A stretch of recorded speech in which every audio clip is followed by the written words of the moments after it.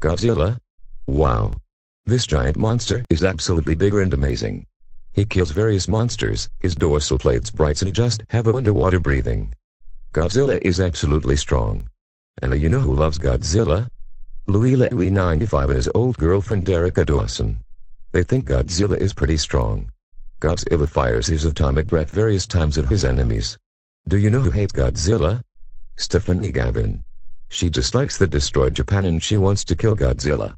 But she can't because Godzilla do not exist. Godzilla rocks. Go Facts sucks. Next salute, Weatherstar 4000 video.